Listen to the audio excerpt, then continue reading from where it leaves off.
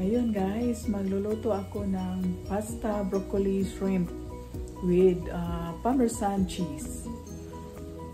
Got our dinner tonight guys.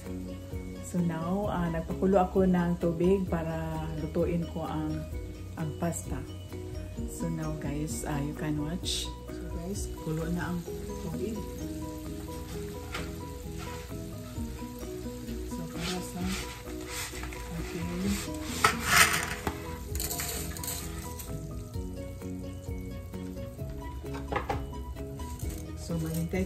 Guys ng uh, 8 minutes. So, guys, uh, you can watch me uh, what kind of uh, ingredients I have for uh, for my uh, broccoli pasta shrimp with uh, parmesan cheese. So, okay guys, see you. So, luto na ang pasta guys. So, uh, Print ko siya dito sa may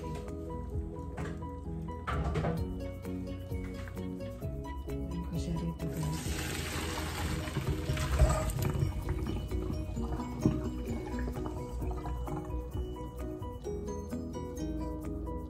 Ang ito guys ang shrimp ko. Uh, panitan. So,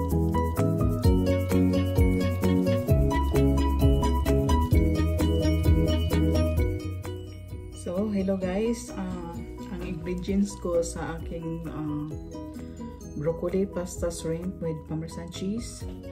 Uh, this is one bowl of broccoli and uh, one pound of uh, shrimp. One cup of parmesan cheese, guys. Um, two tablespoons of butter, garlic, and red onion. So, I will not using for uh, bell pepper. No. So, ang eh, sabaw ko sa aking pasta ay um, chicken broth. Organic chicken broth may ang isabaw ko. And also, uh, one cup of uh, evaporated milk. Okay guys, you can watch how I cook the broccoli pasta shrimp with parmesan cheese. Hello guys, ilagay ko una ang butter. This is uh, 2 tablespoon of butter.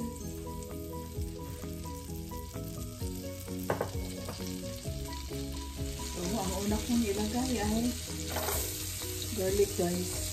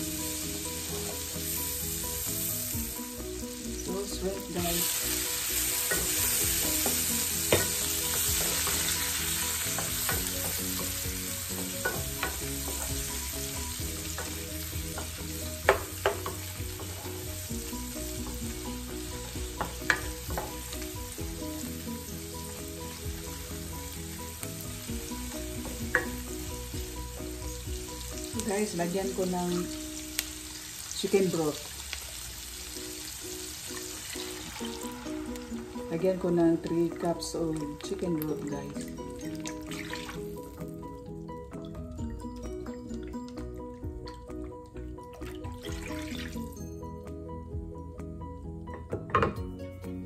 So, takpan ko, guys, para kumulo siya. Minas gás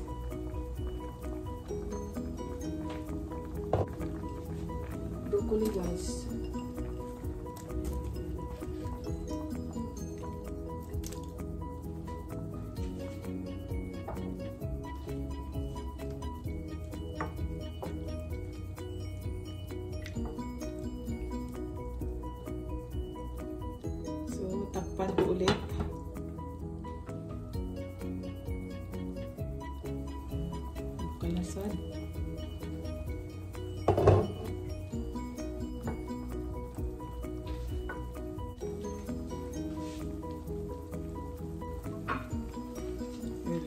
This is uh, evaporated milk. Lagyan ko na 1 cup of milk.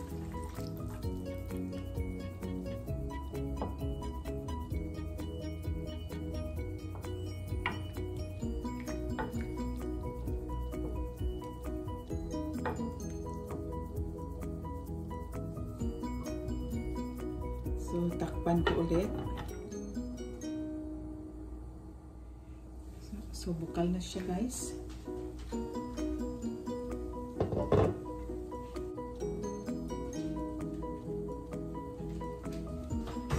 Ilagay ko na ang pasta.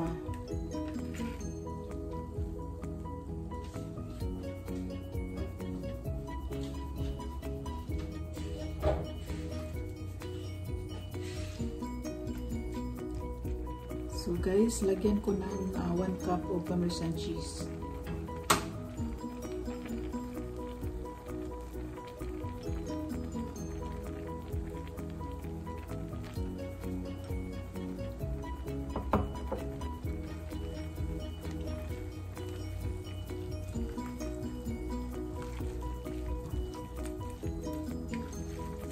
Para ma-creamy siya. Mm, creamy. Almost almost finished.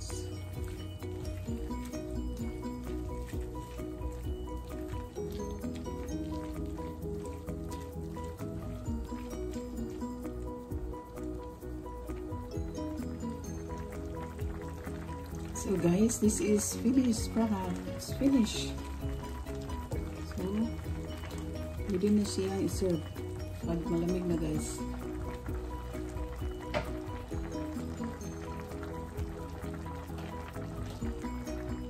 So, ito guys, uh, may broccoli, pasta, shrimp with parmesan cheese. So, this is finished product. So delicious. So delicious.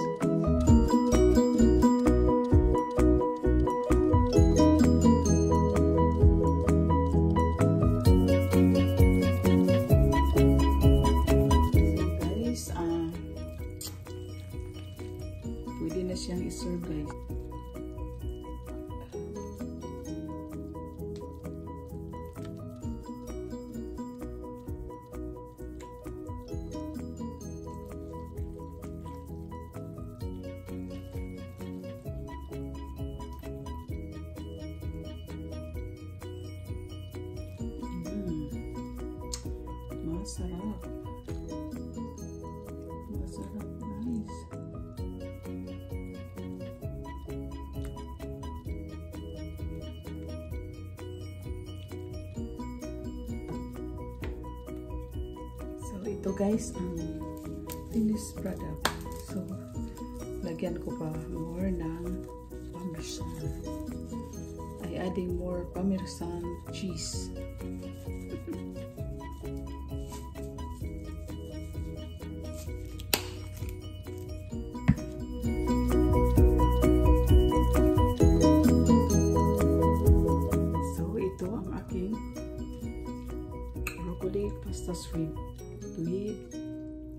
Parmesan cheese.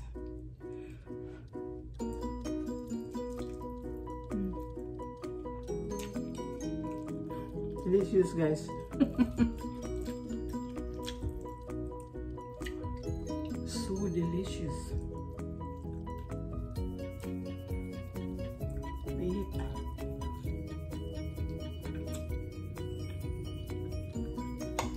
Broccoli.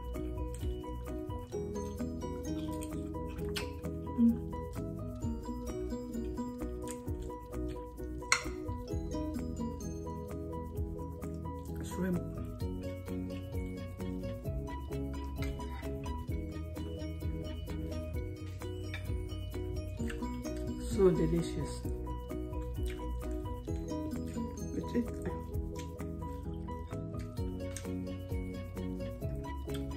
So this more. Mm.